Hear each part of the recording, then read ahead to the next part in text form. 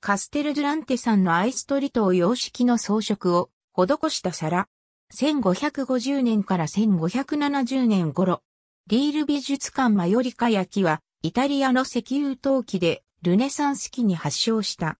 白地に鮮やかな彩色を施し、歴史上の光景や伝説的光景を描いたものが多い。地名故障の表記の揺らぎによりマジョリカ焼き、マヨルカ焼き、マリオルカ焼き、マジョルカ焼きとも。その名称は中世イタリア語でマヨルカ島を意味する。マヨルカ島はバレンシア地方からイタリアにムーア人様式の陶器を輸出する際の中継点だった。ムーア人の投稿はマヨルカ島を経由してシチリア島にも移住したとみられ、同様の陶器はカルタジローネからもイタリア本土に入ってきたとされている。別の説としてスペイン語のオブラでマラガ、すなわち、マラガから食器が語源とする説もある。ルネサンス期には、マヨリカといえば、ラスター彩りを意味し、イタリア産のものとスペインからの輸入物を含んでいたが、その後、ラスター彩りかどうかに関わらず、イタリア産の石油陶器全般を指すようになった。スペインがメキシコを征服すると、石油のマヨリカ焼きは1540年頃からメキシコでも生産されるようになり、当初はセビリア産の陶器を真似て作っていた。メキシコ産マヨリカ焼きはタラベラ焼きとして有名である。石油は不透明で真っ白な表面を生み出し、その上に絵付けした時に鮮やかに映える。石油薬を全体に施して火にかける前に金属酸化物などで絵を描く。フレスコ画のように釉薬が顔料を吸収し、間違っても後から修正できないが、鮮やかな発色を保つことができる。時には表面にもう一度釉薬をかけ、さらに光沢を強くすることもある。光沢を増すには、低温での火入れに時間をかける必要がある。窯には大量の木材が必要とされ、陶芸が盛んになるに従って、森林伐採が進んだ面もある。釉薬の原料は砂、ワインの折、鉛、鈴である。マヨリカ焼きに橋を発した15世紀の陶芸は、シチリア島経由で入ってきたイスラムの陶器の影響を受けて鈴酸化物を釉薬に加え、それまで中世ヨーロッパで行われていた鉛釉陶器の様式に革命を起こした。そのような古い陶器は、プロとマヨリカなどとも呼ばれる。それまで陶器の彩色は、マンガンの紫と銅の緑ぐらいしかなかったが、14世紀後半には、コバルトの青、アンチモンの黄色、酸化鉄のオレンジ色が加わった。ズグラフィートと呼ばれる技法も生まれた。これは、白い石油をかけた後に、それを引っかいてその下の粘土が見える部分を作り、模様などを描いたものである。ズグラフィートは、ペルージャやチッタディカステッロが本場とされていたが、モンテルーポ・フィオレンティーノやフィレンツェの窯からズグラフィートの不良品が大量に見つかっており、そちらの方が生産量が多かったことが分かった。鳥をイスラム風に描いた皿、オルビエートさん。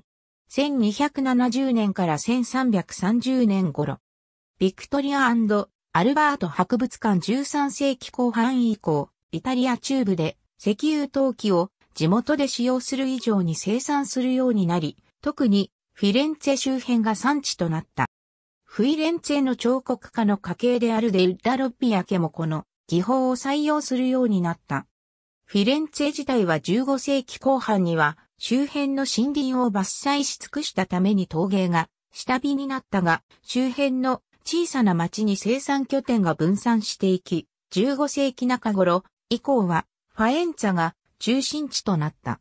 興味深いことに、1490年の契約書によれば、モンテルーポ・フィオレンティーノの23人の投稿の親方がその年の生産物をフィレンツェのアンティノーリに売ることに合意している。モンテルーポは1945年にメディチ家のビラに経験豊かな投稿を提供している。フィレンツェの陶器に触発され、15世紀にはアレッツォやシエーナでも独特な陶器を生産するようになった。デルータ産の皿。16世紀中頃。色が鮮やかである。ビクトリアアルバート博物館15世紀には、イタリアのマヨリカ焼きが完成度の面で頂点に達した。ロマーニャはファエンツァの名がファイアンス焼きになったことからもわかる通り、15世紀、初頭からマヨリカ焼きの生産拠点となった。ファエンツァは、陶器生産が経済上重要な地位を占めるようになった唯一の大都市だった。ボローニャでは輸出用に鉛硫陶器が生産された。